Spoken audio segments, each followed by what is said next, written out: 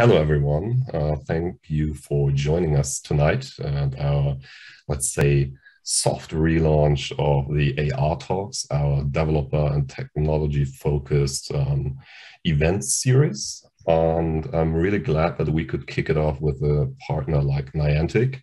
Tonight with us is Michael Firman. He's a, a research scientist, senior research scientist hello, um, at Niantic, and will tell us all about the Lightship AR development kit, which has, is now in beta. And for all of us who don't know me and us, Next Reality, we are a non-profit association who tries to connect all players who could, who are actually working in the XR industry already uh, could potentially benefit from using XR technologies. And yeah, we're really happy um, to have these kinds of events. Usually we would have done all this in real life, um, which is, well, uh, because of obvious reasons, not possible at the moment. And sadly, most of you are probably already used to that. If you want to know more about Next Reality, our work from podcast to content to events, of course, or our annual award, please check out nextreality.hamburg. And yeah, so I'm actually looking really forward to what Michael will present us because I'm slightly obsessed with Niantic products and I'm really curious and excited about um, the technology that lies underneath it all and what Lightship ARDK will offer, especially our developer community in terms of opportunities. So, Michael, uh, the stage is yours. Oh, like one more second. Um, the evening will be like this. Michael will tell you all he wants to tell you about uh, regarding the Lightship ARDK. And then we'll have a Q&A session, so don't be afraid and hesitate to ask some questions. And if some people of you afterwards still feel like it, we can have networking breakout sessions, which are quite nice. So but only if there are enough people left after the Q&A session. But that's kind of the, it feels like real networking somehow, like mixing up or mingling at a bar and uh, just talking in small random groups. Um, so that's just an offer, but uh, that will be the program for tonight. So Michael, now the stage is yours. And I'm looking forward to your presentation. Superb. Thank you very much. Okay, so I'm Michael, and um, yeah, I'm a research scientist at Niantic, and I work in the uh, London office. And the goal of the work that we do is to come up with new algorithms for augmented reality and ultimately implement augmented reality algorithms to, to go into the phone, to be used in games, and ultimately the Lightship platform. So some of the things I showed today have been things that I've been working on, um, but I have to say that most of them are things I haven't been working on, so I can't take the credit for um, you know 99% of what you will see. Today I'm going to talk about three things. I'm going to talk about Niantic, where Niantic's come from, and so it's sort of brief history, um, and then the Lightship platform in general. Um, but I'm going to spend most of the time talking about the ARDK, the Augmented Reality Development Kit. Um, we've got lots of fun kind of demos and videos and at the end, I think we should have lots of time to have questions and discussion. I think I'm really keen just to talk about what people think about it, but also like people's general thoughts on AR, you know, where it's going, what, what, what are we missing, what, what should we be working on, and so on. But um, as promised, we start with a history lesson. Um, Niantic people think of Niantic as this sort of games company, but really it began as a mapping company. So 20 years ago, um, the founders of Niantic actually started a different company called Keyhole, which was a mapping company um, dealing with you know digital versions of maps and um, satellite views. And this was acquired by Google, and this technology became Google Earth, Google Maps, and um, and you know the, the founders continued to work on this but after some time they decided they wanted to get back into gaming. They were originally from from various gaming companies. And so they founded niantic labs within google. Um, it was spun out a few years later. And then a year after that was you know the famous summer of um, pokemon go um, in 2016 um, and since then niantic's continued to launch um, games. Um, and now is kind of the next big step, which is launching the technology behind all those games. So everything that we've kind of created to make these these games, um, we're now opening up for other developers to create their own games on top of that platform. So that's kind of where we've come from, um, and I'll talk a bit now about what what kind of Niantic is all about. Um, I think Niantic's key goal is this: is to inspire people to explore the world together. Um, and this is a nice picture. It's of a, a Go Fest, obviously from a, a few years ago now, but lots of people coming together to do exactly that, to explore and to do it all together. Um, there are three pillars of this kind of overall goal exploration and discovery. So people kind of going out and, and finding interesting things in the real world. Um, so there's a, this is a, um, you know, I think nearly 13 million places around the world as people have kind of, you know, yeah, player curated places like, hey, this is an interesting place and, and we should care about this, places that other people should visit. This is kind of nice. Um, particularly like if you're into geocaching and things like that, it's very much, you know, that digital version of like, hey, there are these real places that we should visit. Uh, movement. Um, this is like really big principle. Um, and I think kind of users appreciate this motivation to get outside and move around. Like you play the game and without realizing it, suddenly you realize you've, you've walked your 10,000 steps. Um, and that's kind of cool. And it's obviously there's big benefits there from movement for like physical and mental well-being. Um, and the amount of collective steps or kilometers is, is enormous. And so I think this, this figure here um, 28 billion kilometers walked collectively with Niantic Games. Something like Earth to the Moon and back 36,000 times, something like that. It's, it's, it's enormous. You know, there's a, so much walking around the globe happening. And it does happen that, you know, you sometimes see someone else who's kind of really on a mission somewhere and you think they're late for their train, but actually they've got, um, you know, Pokemon Go open and they're, they're trying to get something. It's kind of fun to see. Um, real world social, the third and most, most recently the hardest pillar. Um, but, you know, I think we're getting to a stage where soon we can start to do this again, start to get people um, out together. And, and so we're going to talk later about some technology that really kind of makes this fun, um, but definitely getting people together in the same place to, to play games together is kind of something that we, we care about. So, um, you know, that's, that's a, that's kind of the third, the third point. And this is, you know, it's um, it's cheesy. I think it, though it is the kind of the thing that underpins it is it underpins the whole of augmented reality. Actually, is that we're not trying to create a separate world. We're trying to sort of augment the real world. We're kind of adding stuff to it. The real world's already fun, so let's just add some of our own fun stuff to it. Um, these are those same three pillars, just with different stock photos. And, um, you know, it's, it's nice. Let's go and explore and um, move around and meet people in real life. Okay, so um, I mentioned uh, Pokemon Go, which I think is probably the most famous of uh, Niantic's games, but there was Ingress before that. There was actually Field Trip before that, which isn't mentioned here. Um, and since then, Harry Potter, um, Catan game, got Pikmin, uh, Heavy Metal coming up. Um, and all of these are, so Heavy Metal is a Transformers based game, by the way, if you haven't heard of that. Um, these all rely on kind of a shared underlying technology stack, and that's what's being packaged up in Lightship.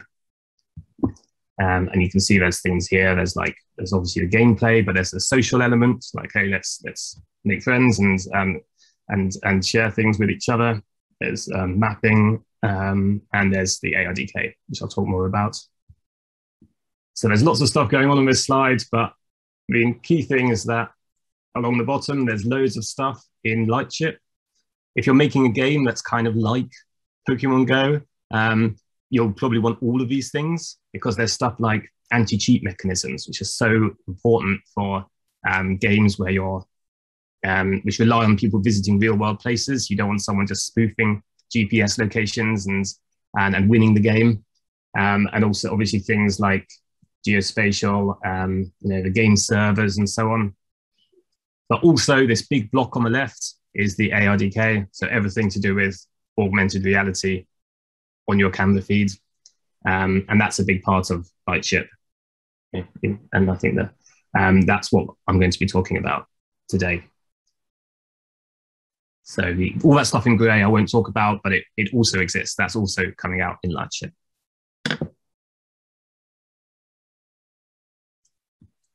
Okay, so um, like with our, um, our core mission values, which are three pillars, there's also um, three pillars of Lightship.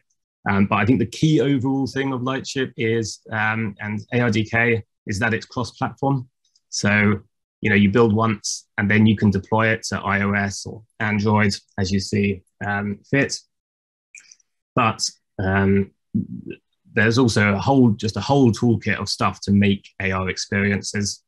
And the important thing is it's all in Unity. So if you're happy in Unity, you'll be happy with ARDK. If you're not happy in Unity, then it's probably not the thing for you. But I think most people are, um, are pretty, pretty uh, keen on using that. Then the AR capabilities are in these three buckets. There's, there's sharing, so um, real-time multiplayer, which I'll talk about in a minute.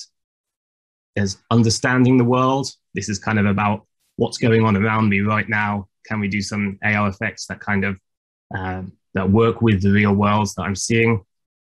And finally, is mapping, so tying digital content to real world locations. And I'll talk about that last of all. Okay. So we'll talk about sharing first. Um, and the key technology here is multiplayer. So this is multiplayer augmented reality.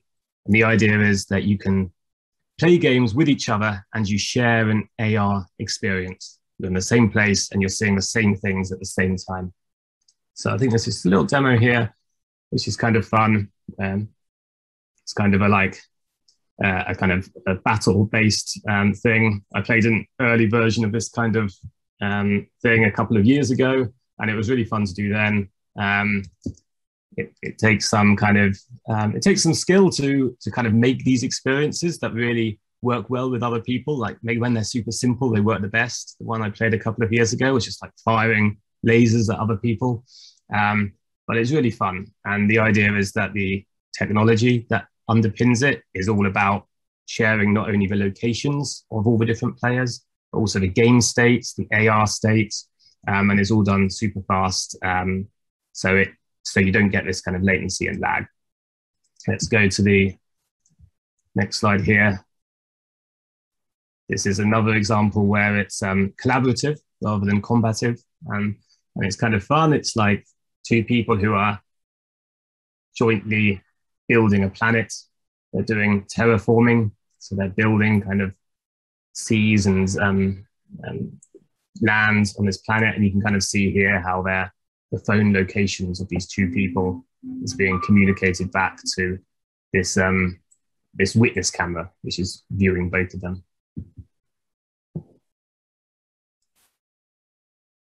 So this was made by an external developer um, external developer company, Trigger, Trigger Global, in this sense. And I think a lot of these videos are made by external companies. So it's kind of cool that all this stuff is being tested out and stress tested, debugged um, as we go. Um, so it's nice because now when it kind of gets launched um, in beta now, it's already undergone that first stage of testing. So we kind of problems which come up, we're, we're ironing out and we're doing that now. This one is fun but it, I don't think it translates well to video. So I'll have to describe it. Um, it is, it's a shared um, audio experience.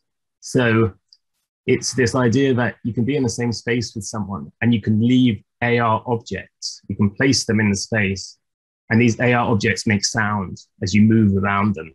And because you're in the same shared space, you can kind of leave objects for your friends to encounter. Um, and you can make the kind of a soundscape. Um, and you can imagine this is the sort of thing that works really well with nice like headphones, um, and you get this real like audio augmented reality, um, which I think is is really cool. And it's kind of just a kind of unusual thing that you can do, which you don't think of as being like the first thing you could do with this kind of technology. So yeah, I mean, it's, it translates badly to video, probably even worse over over Zoom. Um, but I think it's a, it's just a really nice um, idea. And again, this was made by an external um, company.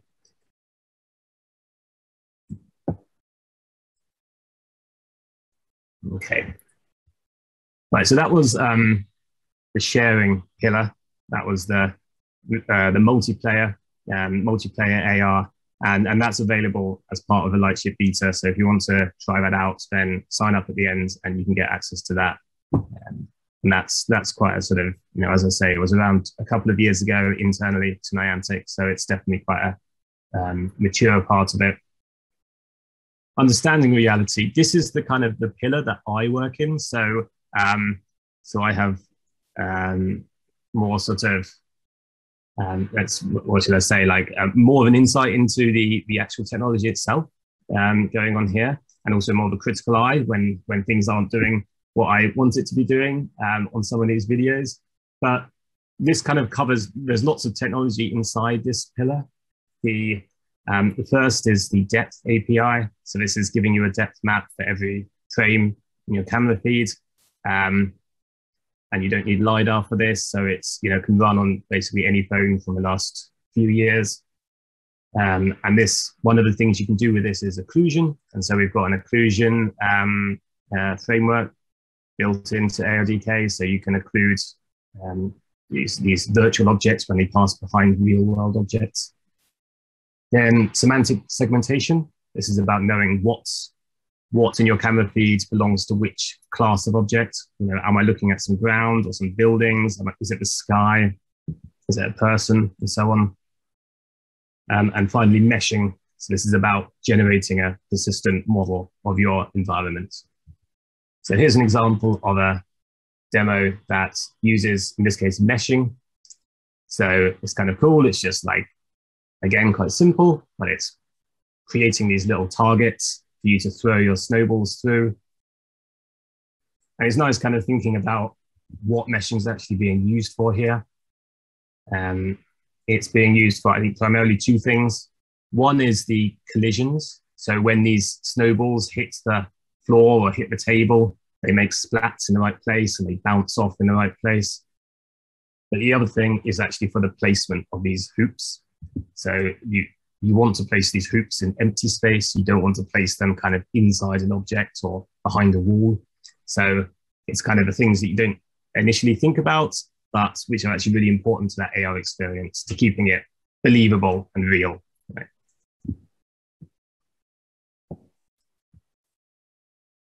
Let's go now to thing.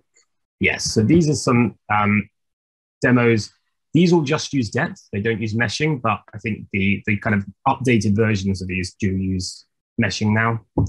On the left, we're using um, a kind of path planning um, scenario. So this little Yeti creature, um, who is Niantic's uh, company mascot, is walking around the scene, and the path that it's going on is being determined by our understanding of the shape of the, the environment. So it knows it can't walk through a wall, it can't walk off the edge of a pier into the water. So it has some understanding of what's going on and the fact that it, you know, can't walk into that person because there's a there's a there's a, a thing there. Um, so this kind of realistic path planning is what this is showing. In the middle, it's a graphics effect, this kind of lighting effect. There's all these kind of things you can do with just um, just by kind of knowing something about the shape of the scene. Um, and this sort of thing is is very cool because it's um, it's the sort of thing that you just can't do when you don't have that knowledge of the shape of the scene. And this is the sort of, we never thought. So I was part of a team that originally created these this depth estimation um, technology, and we kind of thought, hey, this is cool for occlusions. Yeah, that's fun. Um, you know, here you go, and gave it to some technical artists, and they came up with stuff like this, and it's just incredible. Like the the ideas that people have and can can come up with, and we're just showing a few of them here. But this is another one, again, just using depth in this case, but meshing would work well here too. Um, and it's it's like just bouncing these these virtual objects off the real world. Again, just a, a fun little thing, but just it, without knowledge of the shape of the world, this would be so unimmersive. and it would really break that illusion. Uh, the next thing I'll show you is not what that video is showing now, but it's semantic segmentation. So this is about knowing which pixels in your image belong to what categories. And it's a short video, so I'll show it again. So here it's showing, hey, all these red pixels here are sky. All these ones down here, that's ground. Um, over there, you've got buildings, and down there, you've got foliage. So we've got um, a load more categories coming up. These four we've released, they kind of go through an internal QA process, um, but there should be a load more coming out, you know, over the coming months. We've got, I think, internally, we've got, I don't know, there's more than this. Um, and there's kind of fun stuff you can do with it. I can't show you the video on the left because I don't have access to it. Um, but it's kind of fun. It's like using sky segmentation to place a um, a giant creature behind the buildings. So it really looks like it's being occluded by these buildings. So that's using sky. Um, and on the right, this is fun. It was made by an external um, developer. And it's just a really simple gameplay mechanism, which is collecting resources from real world objects. So if you point your phone at a tree, you can collect wood. Um, and if you point it at, you know, um, the sky, you can collect clouds. You could imagine doing this for any number of semantic categories, like, hey, go and find a flower, and you can get some like flower tokens, um, which is really nice, I think. So this is, uh, let's see that again. It's just like find the tree, you're kind of going on a little scavenger hunt. You find it, and then you can collect these resources. There's obviously loads of other stuff you can do, particularly like the graphics effects, like we showed with um, the lights um, you could kind of do similar things like graphics effects on different semantic categories, um, or getting you know points for finding semantic categories, or maybe you have AR creatures that only spawn when you see certain semantic categories. It's kind of like there's loads of stuff. And, you know, it's basically endless what can be done with this kind of thing. Um, the the final part of this understanding branch is meshing, and the overall idea of meshing is to build up a 3D map of your environment. So as you move through it, you're building up a, um, a mesh. It's a, it's a voxel mesh, which is then converted to a mesh. Um, and you can use this just like you would any mesh um, inside Unity um, or with any other effect you want.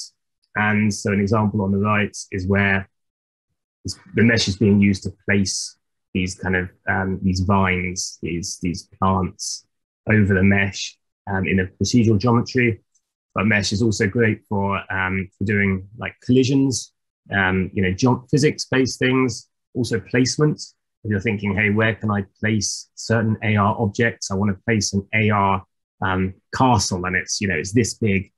Where's a place in the scene I can put it? When you have the mesh, that sort of thing becomes much simpler than if you're trying to just guess um, or use kind of the more um, primitive kind of plane detection that's in the underlying um, ARKit and ARCore. So the mesh is super fun. Um, and again, this is coming out in the Lightship beta. So that's, um, that's the understanding pillar. Um, and definitely keen to talk more about this if people have questions about it. Um, as I am about everything here. But, you know, that's the that's the bit that I I, I personally have, have, done the most work on. Um, and mapping, the mapping team is kind of our cousin team to the research team, and this is a really fun um, piece of technology. Um, uh, one of Niantic's missions we saw was about kind of inspiring people to explore this world and do it together. Um, and it kind of makes sense that to do this having a, a digital map of the world makes a lot of sense. So you you kind of you you're not just placing things like arbitrarily, but you have this very um, tight 3D copy of the world. And as I said at the start, Google um, Niantic's really a mapping company, um, which became Google Maps. So this is kind of in the the uh, Niantic founders is kind of in in them to to be mapping. So this is kind of the the overall aim is to build this 3D map, this digital twin of the physical world. And you might think, hey, we kind of have that already. Like, you know, there's Google Earth, they've got some 3D reconstructions. But I think this is very different to that. And I think this is for these three key reasons. Um, firstly, the aim is to be up to date. So as the real world changes, so to do the does this digital map of the world. So it really reflects what's happening. It's crowdsourced, so it can be updated all the time. The second is that it isn't just a map for looking pretty, but it's a, it's a map that, that is able to do visual positioning service uh, or localization. So you pull your phone out of your pocket and you don't just know roughly where you are, which GPS would give you, but you know exactly where you are. Your phone's position and orientation down to a few centimeters.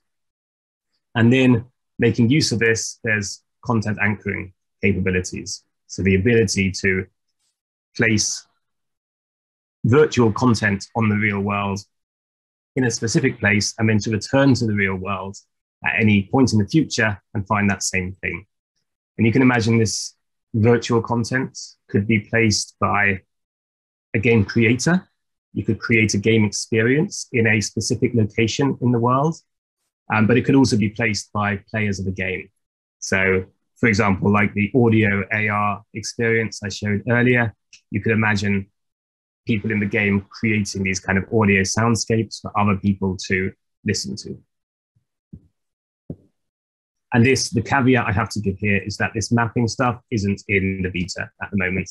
We've got it working internally, um, and it's you know you can imagine the, the stress testing that goes through it, like because it needs to work um, in all these different real world locations. And I think a key kind of differentiator of this um, Niantic's 3D map is the idea that it's crowdsourced.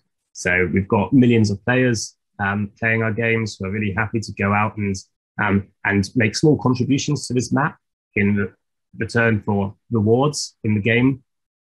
And this means we're able to keep this map really up to date.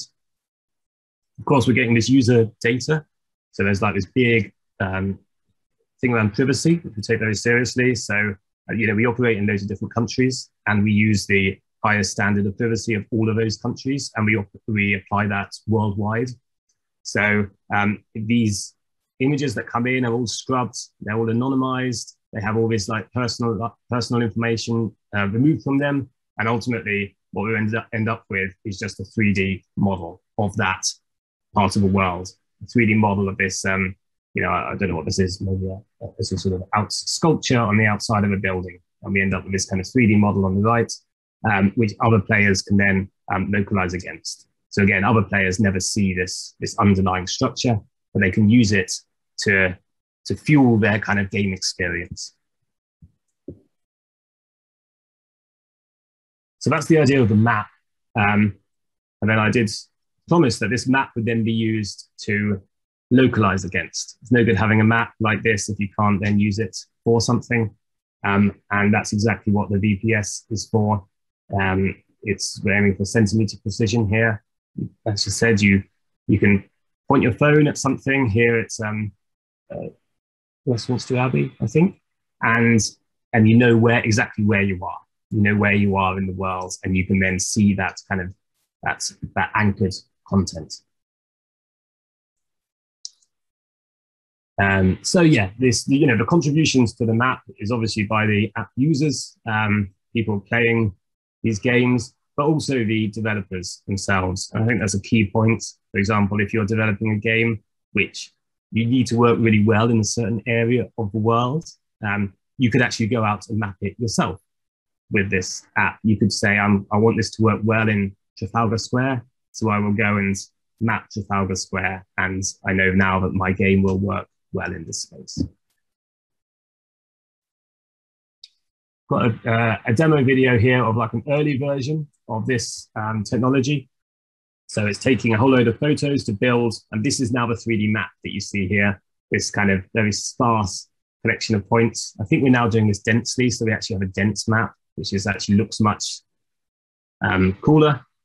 Um, and the idea is that you can then retrieve 3D content, which has been placed there, in this case by the, the game designer, who's placed this balloon in the middle of this um, hallway. And so, you know, and join a different session, someone else can join the same game and see the same stuff, which is fun.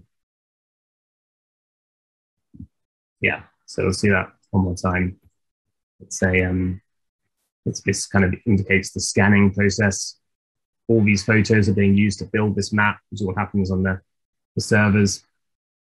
Um, and then when someone then pulls their phone out and, and points it at the world, there's a short localization step, and then you're, you're localized. You know where you are, and then you've got your digital content overlaid on the world. Okay. Obviously, there's massive um, problems here around scale, like scaling this up to world scale is um, is enormous. So it's it's good that we've got lots of great people who know how to do that. Um, because you know, making something in one location is one thing, but scaling that up is enormous.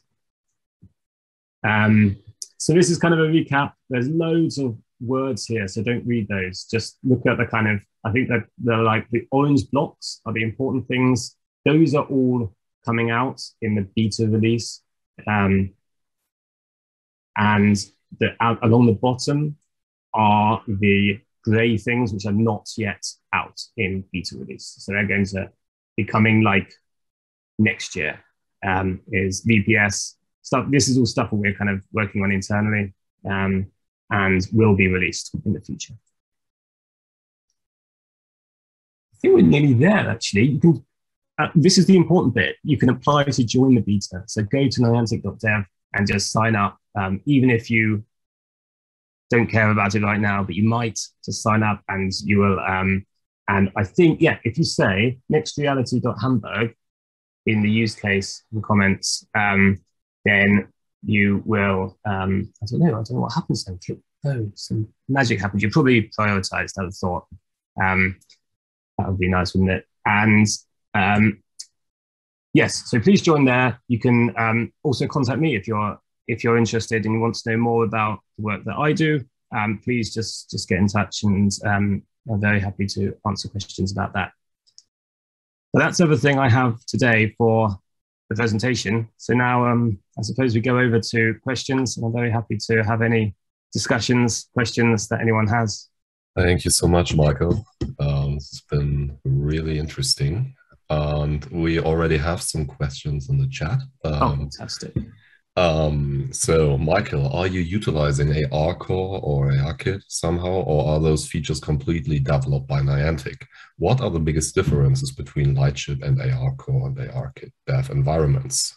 Yeah, I think that's a great question. So, in terms of the AR experience, we definitely do draw upon ARCore and ARKit. And the most obvious of those is for camera pose, because that's something very like close to the metal using their IMU sensors um, and that's something that Google and Apple do pretty well, not perfectly, but pretty well.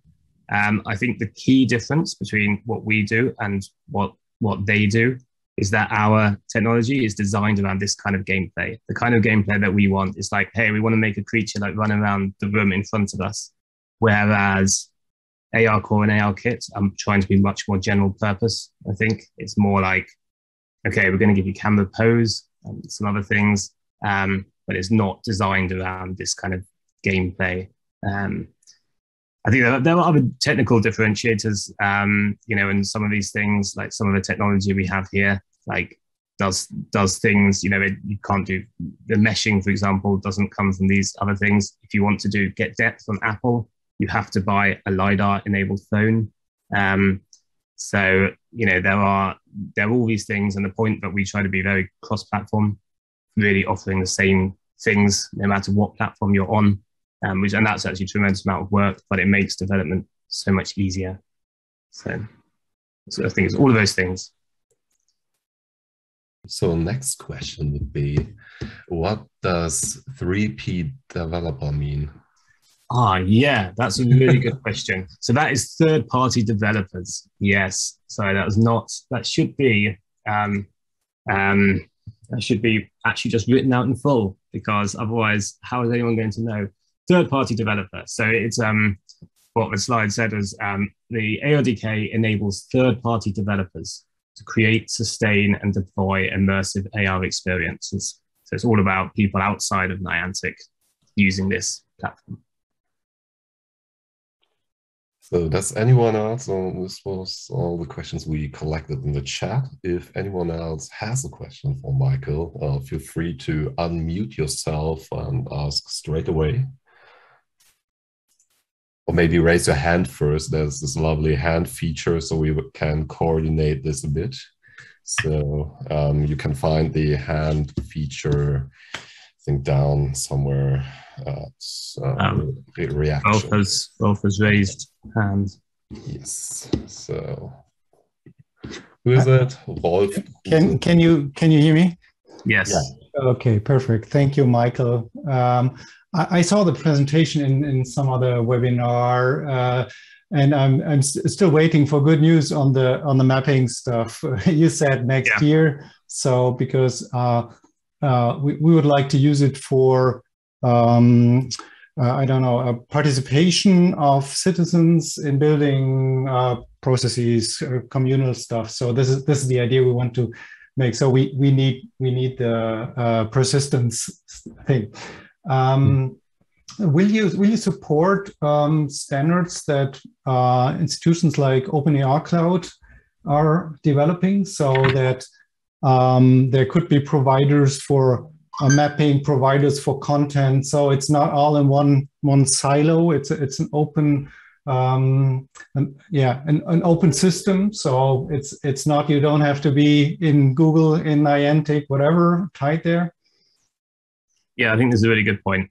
I don't actually know the answer to this. Um, I think I don't know about the that level of openness um, of like sharing the do you in, in this sort of open AR cloud, is it kind of sharing the underlying maps? Is it is that the kind of the how that works? Yeah, OpenAR Cloud is is a non-profit organization that tries to get companies and organizations to talk to each other and develop those standards as open standards, like the Khronos Group or, or someone like that. Or mm-hmm. um, so uh, they they in they brought in the idea of uh, to the, um, I, I, don't know the exact name of the organization. It's defining the standards for coordinates. Um, yep. And there, there are several, uh, so it's a standardization organization. I just can't remember the name of it at the moment. Um, but uh, we're, we're, putting in there um, the idea is to have uh, six six of uh, uh, poses. they only think of 3D, so yeah. um, and we need uh, at least six stuff and and, and uh, maybe more.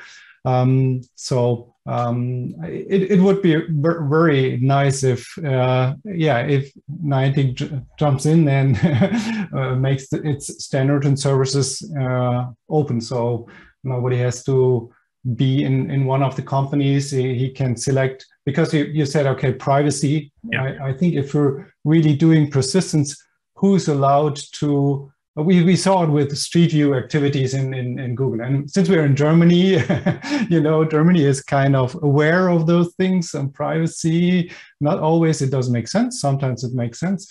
Um, and so uh, to get technology like, like this in, in operation uh, in, a, in a broad sense to people, to commerce, to um, public things. I think um, this is the most important thing. It has to work out well and on technology side, but I think the privacy stuff is the most important.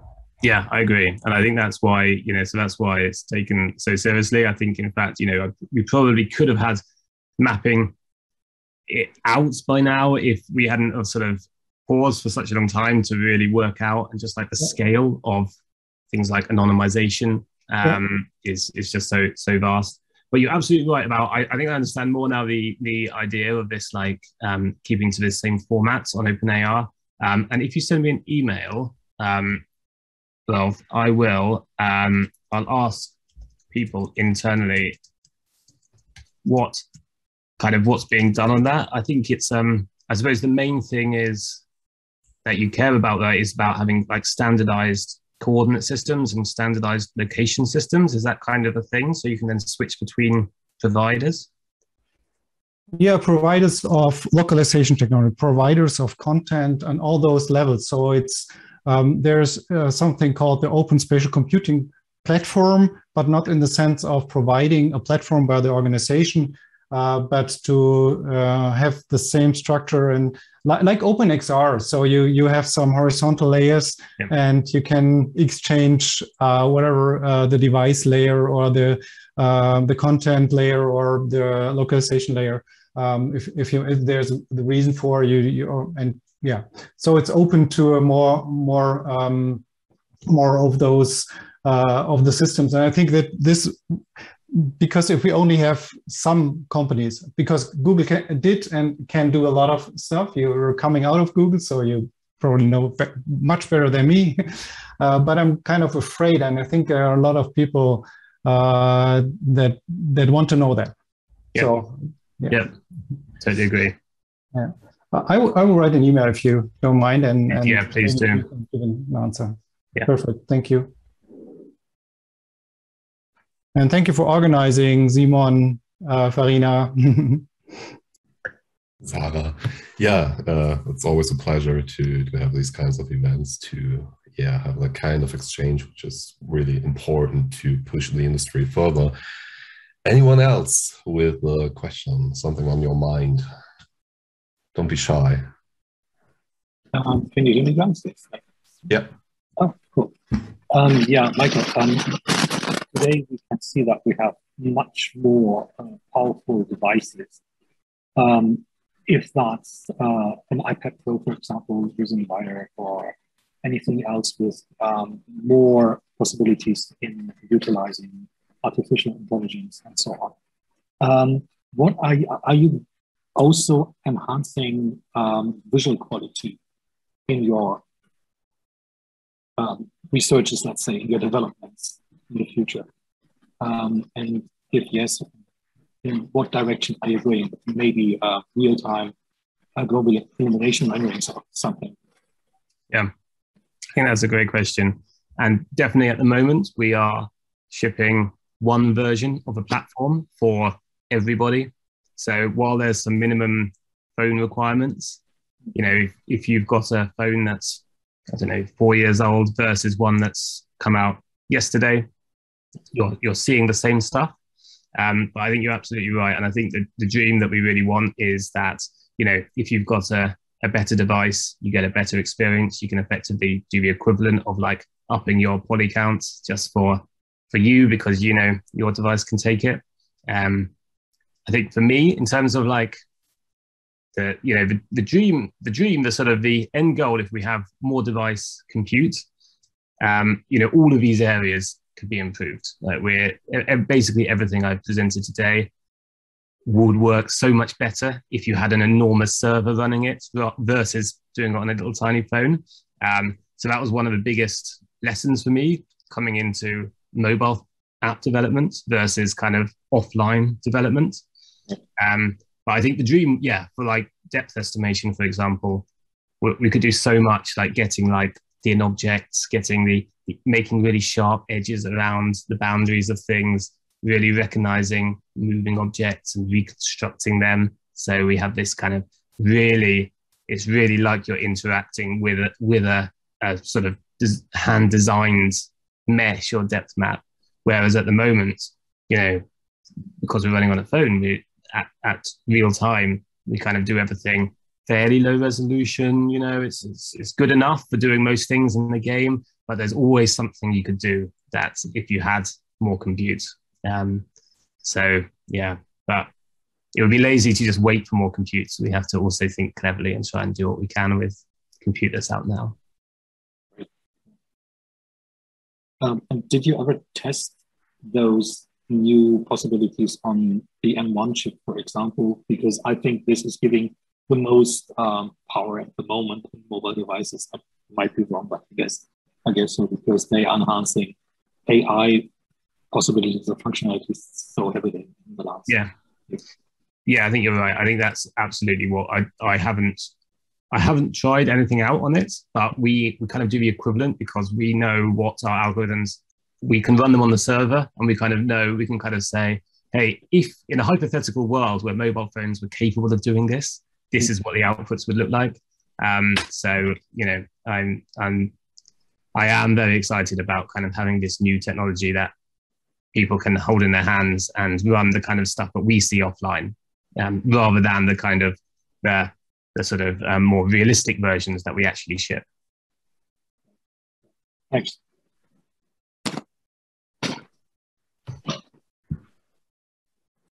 Anyone else? Another question. These are very good questions. Absolutely, I have to agree.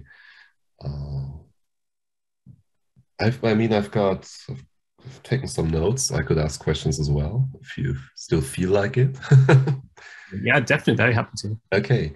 Um, well, I've really, uh, speaking of th uh, third party uh, developers and partners, um, lots of the cases you've shown us were right now in kind of playful gamification mm. and uh, of course somehow. But do you already have uh, or maybe to to have it a bit more anonymous um, without calling names but where do you see the greatest potential for the Lightship ARDK in other use cases than art and entertainment? Yeah.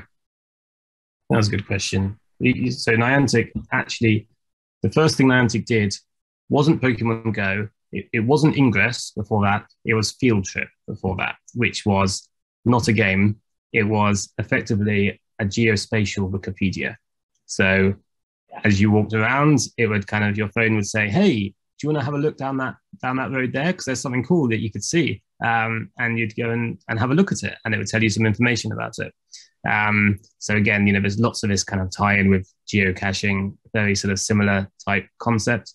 Um, and I think that's a really fun um, thing still, like just to kind of see these kind of layers of could be history, it could be art, it could be just other things that um, that other people have thought about this place and kind of to be able to access those layers.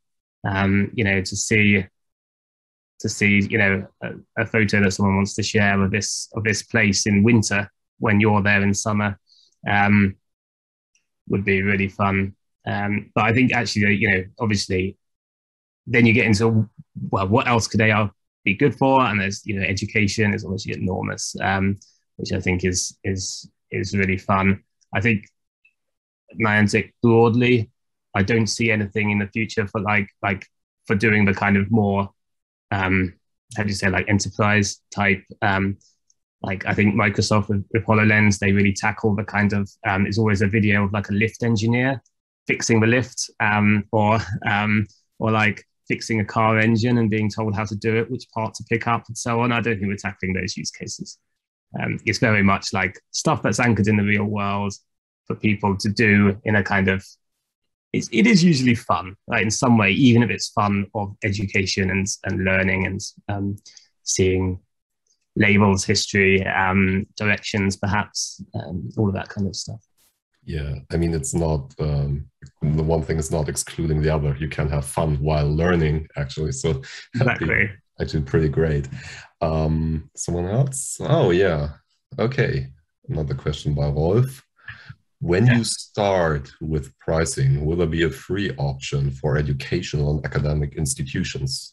It's a great assumption here from Rolf that there's going to be a pricing layer at some point. Um, I don't know anything about um, about the um, future commercialization strategies, but I would say that Niantic does have a very strong um, heart with um, um, academic institutions because we are, particularly the London Research Lab, we are born out of University College London, and our the leader of the research lab is still a professor at UCL. So we have this kind of very strong connection to academia, and I can fully imagine that um, you know we definitely want to not only give back but also allow more people to use it, right? Because the more people that use it, the better. So I I would strongly hope so, but I also don't know. Um, Thumbs up in the chat. Um, hello, can you hear me now? Oh yes. Yeah. I, I had some audio issues. Also, I, I couldn't find the raise hand button, but anyway, so um, yeah, I have a technical question, um, basically a follow up to the integration of ARCore and ARKit. Um, so, um, how like um, uh, are you considering phones that have like uh, advanced sensors um, or um, like uh, other like special features that um, yeah ARKit provides um, like uh, are you integrating any of those um, what could you give examples of what type of um, sensors or special yeah. features well, the LiDAR sensor, right, mm. with the Apple. Yep. And um, also inside the ARKit, they already have their own version of like a semantic segmentation, which yep. has like a few labels available. So, but what is the difference, right? Where, where's the, how, how do you handle this? Yeah, so I think the important thing is that you still have access to all of that. So you can kind of pick and choose. You can you can choose what you want for your application. Um, so if for something you know, I know that in yeah ARKit there's some um, human human parts segmentation, human pose. Well, yeah, use that because we don't offer that. Um, I think the the point is that it's a kind of it's not an either or. You don't have to choose. Um, it's um, but if you yeah, it, it just gives you more options to use in your applications. Right. Yeah, that's great. Yeah, and um, I think that's also what other uh, like high level SDKs are doing. Like, uh, um, so um, like a practical example, like uh, let's say I have a Unity project and then uh, uh, can I install uh, the ARKit and then I install your um, ARDK on top of that and like use some features from one and one, some features from the other? Yeah, yeah, absolutely. So th- that's that's that's very important. You can definitely do that. Awesome. Um, okay, thank you.